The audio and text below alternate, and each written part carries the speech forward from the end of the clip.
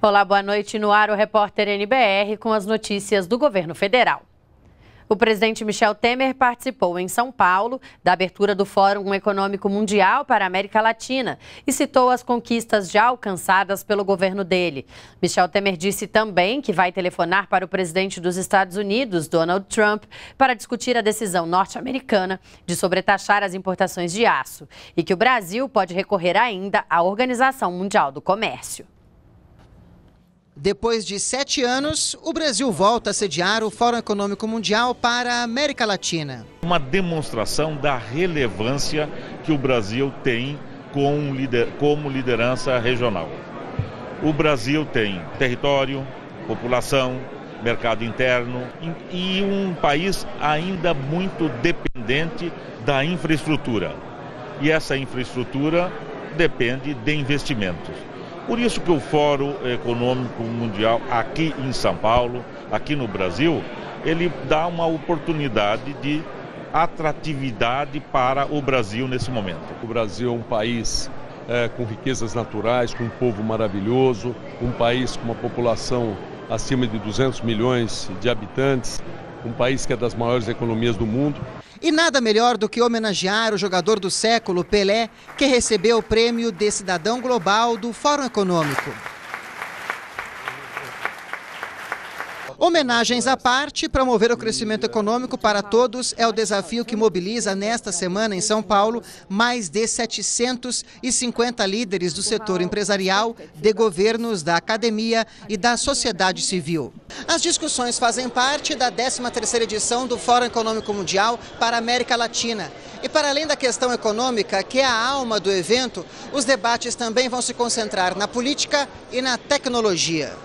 A meta é aproveitar a criatividade e inovação das empresas na chamada quarta revolução industrial, baseada na internet, além de incentivar lideranças responsáveis. O fundador do fórum, Klaus Schwab, defendeu que o mundo não se divide mais entre direita e esquerda e que os países precisam se preparar para os desafios da atualidade, o que, segundo Schwab, está sendo feito pelo presidente Michel Temer no Brasil. Depois da avaliação positiva, Michel Temer foi enfático. Há muito otimismo do Brasil.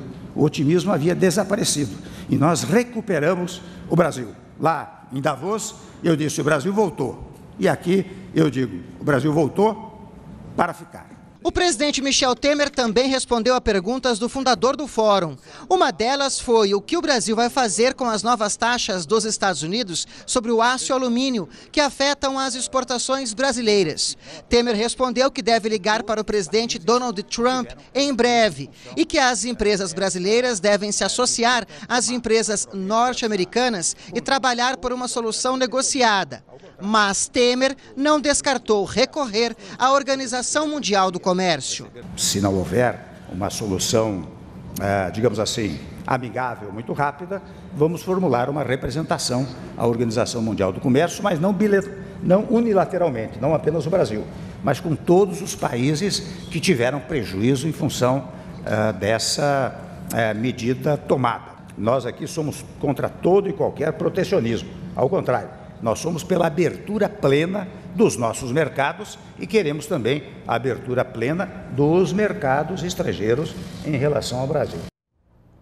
O ministro Gilberto Kassab também participou do fórum e disse que encontrou investidores confiantes com a situação econômica do Brasil. O ministro apresentou o programa Internet para Todos e reafirmou o compromisso do governo em conectar todo o território brasileiro à rede mundial de computadores. É muito importante, muito positivo que esse fórum aconteça no país. Mostra, primeiramente, que os seus organizadores, os investidores que estão espalhados por todo mundo, estão acreditando no Brasil.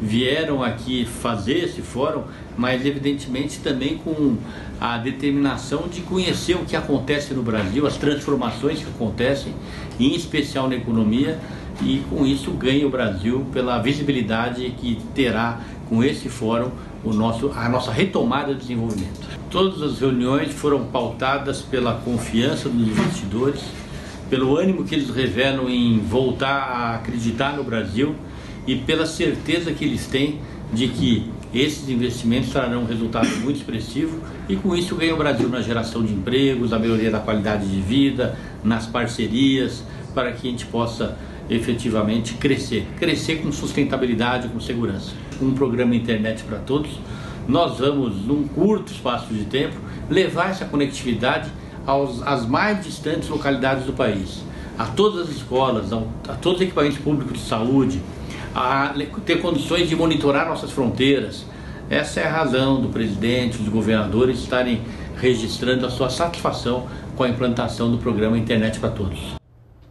Quem também participa do Fórum Econômico é o ministro da Fazenda, Henrique Meirelles. Ele falou sobre a expectativa de 3% para o crescimento do Brasil este ano e da geração de empregos, que deve vir com mais oportunidades de investimentos. O ministro da Fazenda também destacou que o Brasil vai buscar uma solução sobre a, taxa de, sobre a taxação de aço por parte dos Estados Unidos. A taxação americana sobre taxa sobre aço e alumínio é uma medida evidentemente negativa.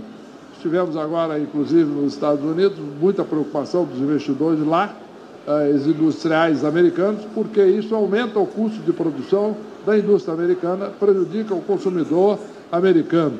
Em última análise, diminui, na realidade, a competitividade da indústria americana, que aumenta o custo de produção nos Estados Unidos. É? Então, isto é uma medida negativa do governo americano. Estamos estudando, do ponto de vista agora do Brasil, quais são medidas a serem tomadas. Ah, podemos fazer uma ação junto à Organização Mundial do Comércio. Por outro lado, os Estados Unidos ah, têm sinalizado eh, uma disposição de negociar, mas não deixaram claro ainda Uh, que negociação seria essa? Acredito que nem as autoridades econômicas americanas ainda têm clareza de qual seria essa negociação uh, que o, o, presidente americano tem em mente. Portanto, estamos aguardando. Uh, do ponto de vista do Brasil, a pauta de exportações brasileira é muito diversa, é muito diversificada, o que é bom. Né? O Brasil está crescendo, o mercado interno está crescendo muito inclusive pelo aumento do emprego e a baixa da inflação. Portanto, o país eh, vai continuar crescendo, a nossa estimativa de 3% se mantém, ah, independentemente de questões da sobretaxa americana. E morreu nesta última madrugada o físico britânico Stephen Hawking. Pelas redes sociais, o presidente Michel Temer lamentou a morte de Hawking e lembrou que ele foi um dos cientistas mais brilhantes de uma geração, cujo trabalho e legado vão viver por muito tempo. Para Temer, a ciência e o mundo perdem um grande aliado. O físico britânico morreu aos 76 anos. Ao escrever sua própria história, ele dizia que tinha realizado quase tudo o que queria na vida, apesar de estar imobilizado numa cadeira de rodas e de só falar através de um sintetizador de voz. O físico Stephen Hawking enfrentou durante boa parte da sua vida as complicações de uma doença chamada esclerose lateral amiotrófica. Para aprimorar o tratamento e melhorar a qualidade de vida de pacientes no Brasil, o Ministério da Saúde anunciou a liberação de 2 milhões e 300 mil reais que serão investidos em pesquisas. O recurso será para a Universidade Federal de Alagoas e deve ser usado na construção de um laboratório de pesquisas com células-tronco. A medida faz parte da política nacional Nacional de Ciência, Tecnologia e Inovação em Saúde. A esclerose lateral amiotrófica é provocada pela degeneração progressiva de neurônios motores e causa paralisia gradual e morte precoce como resultado da perda de capacidades cruciais, como falar, movimentar, engolir e até mesmo respirar. Apesar de ser uma doença rara, só no Brasil são atualmente 14 mil pacientes. Nós ficamos por aqui. Você pode rever as reportagens no YouTube e toda a nossa programação também está na página da NBR na internet. Continue com a gente na NBR, a TV do Governo Federal.